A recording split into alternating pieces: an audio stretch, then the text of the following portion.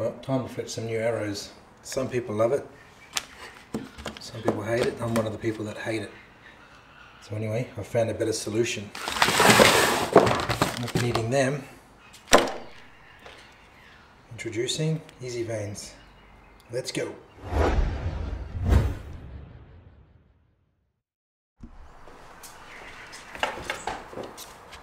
Howdy folks, welcome back to the channel. As introduction shows, I'm going to be refletching some arrows um, using the Easy Vanes. I'll give you the model and the part number and stuff and put it in the description so you know what size I'm shooting compared to what I used to shoot, which was the Blazer Vanes. Uh, previously fletched up these arrows using the white wraps with Blazer Vanes in the orange and white and I've even used the quick fletchers as well. so Let's make it start super easy. Alright, what I'm going to do is go from start to finish, quickly show you how I do it. A cloth, isopropyl alcohol. Clean your shaft. You always need to be working with a clean shaft. There's your wrap.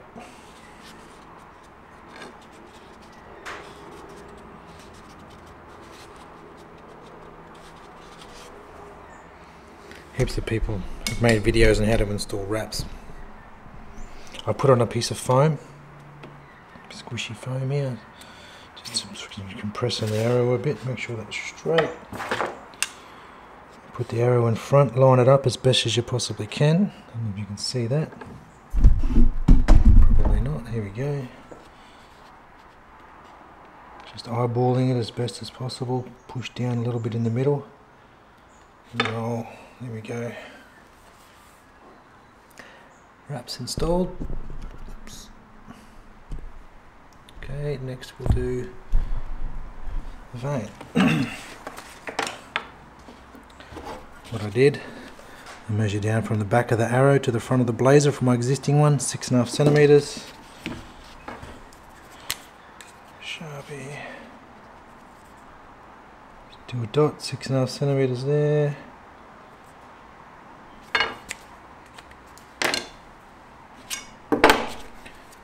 What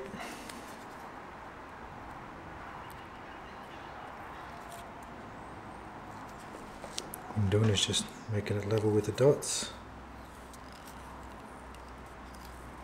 Level as you can anyways.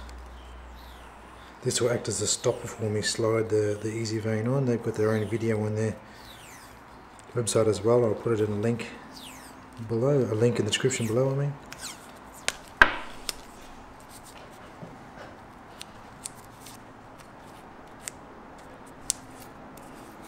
Twist it around because we're going to use that to peel it off.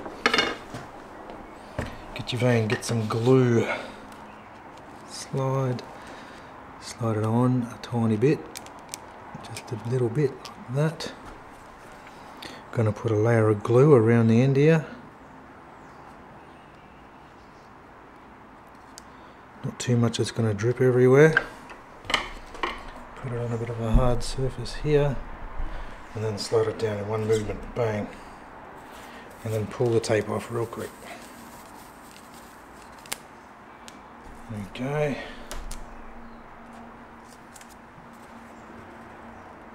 Let's fit it up.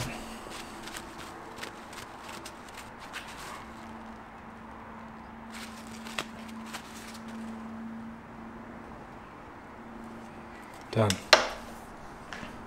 There we go before, after, record time. You don't have to use any fletching jigs. I've got this one, I've got a grayling one as well, which I've used, and I don't mind doing it the old school way, but this is definitely much quicker. You need to be able to do some repairs out in the field as well. Just keep a couple of these handy. Give you a bit more of a close-up look of them. That's the part number there of these particular ones. 4FL3.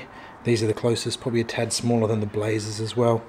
Um, they're a four vane. Obviously the Blazers are a three. Now I shoot a PSE uh, Bow Madness XS. You can see it over there in the um, bow press. Let's give you a bit of a look here. It's only a short axle to axle bow, but what I find is that sometimes my arrows have clearance issues with hitting the cables. Um, so getting a a thinner vane, I'm hoping to have better clearance there. This bow is um, 28 axle axle, 29 inch draw, um, shooting at uh, 70 pounds as well. So I'm going to do some tests out here. I'm going to be shooting at the uh, the Fastco target. so yeah, as well as um, those ones they're the ones that I actually I ordered. Got some longer ones here. Give you a bit of a comparison in their size. Apparently these are the quietest ones uh, that he's tested with as far as noise uh, flying through the air. Um, what I'm going to do though is I'm going to fletch up some of the bigger one, uh, one of the bigger ones, and do a comparison in sound with the smaller one as well. I imagine flight that'd be very similar anyway, but I'll try and get a, a slow-mo shot if I can for you and put that up too to give you a bit of an idea of what it looks like if, if it's going to spin or whatever.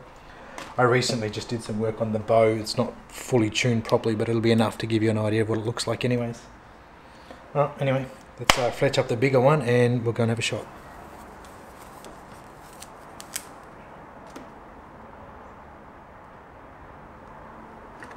What I'd probably suggest too, if you want, I mean, you don't probably don't have to, but you can probably put it a, a little bit around the end of it, because I am going to do a test where I'm going to try and pass through something as well with these to see how tough they are. Actually, the, the glue's on the back of that already anyway. Let's go have a shot.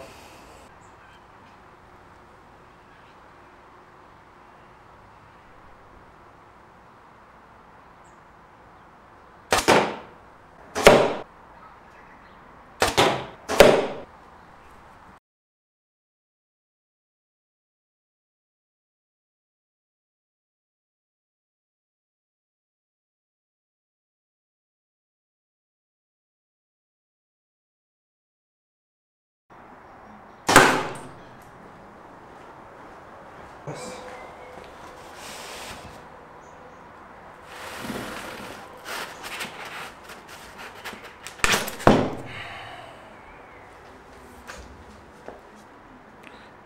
Chunks of glue on it. I had to rip that through pretty hard and this thing's just like nothing. The actual, um, no, it's fine.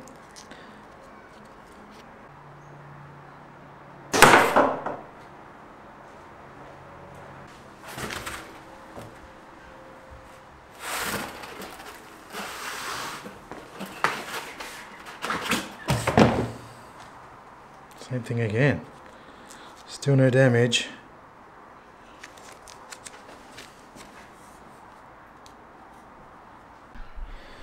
Well, well anyway, in conclusion, would I recommend these vanes? Yes, 100%. They are freaking amazing. You can repair arrows on the run. You don't need any special fletching jigs or anything. Um, this would be ideal for uh, anybody who's going through a lot of arrows. I reckon if you were hunting in the top end for pigs and passing through and just wrecking heaps of arrows, then yeah, um, or wrecking heaps of vanes, then I definitely recommend it. It's so quick, you've seen it takes literally about a minute per arrow, and I'm pretty sure when you get on a bit of a roll, you can probably do it a bit quicker than that as well. So um, I'll put a link in the description below to their website. Uh, you can use our discount code as well, which is Urban10. You'll get 10% off. There's also a link um, which will take you straight to uh, their website with our um, discount code already on it. So yeah, Easy Vanes, check it out. Multiple colors, multiple shapes, not only for hunters but also for target archers as well. And yeah, they're just a really good thing. I think it's about time that technology is catching up um, with the other vanes and stuff that's out there. Uh, these are 3D printed and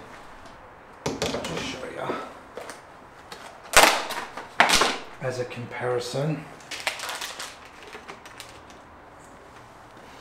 It's a blazer vane, an orange one, and that's their easy vane. The, the weight when you add four of them together is very similar anyway, so you're not going to be messing with your arrow weight that much. Um, they're flexible just like these ones. You can fold them, squish them up.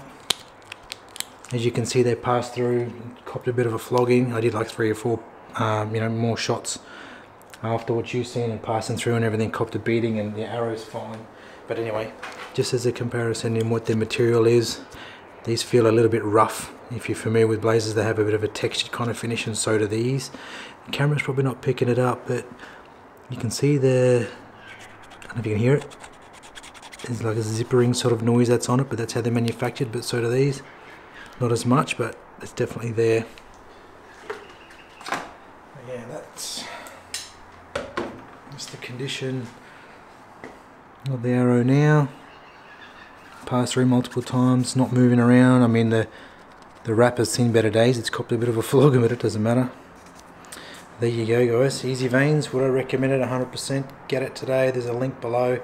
Uh, Australian made as well, so you'll be supporting a small business as well. Yeah, get on it. Anyways, be safe, keep shooting, and hopefully we'll see you uh, soon when we're going out and uh, chasing some deer or something. Let's wait for this lockdown, lockdowns to end and we'll be good. Anyways, hooroo.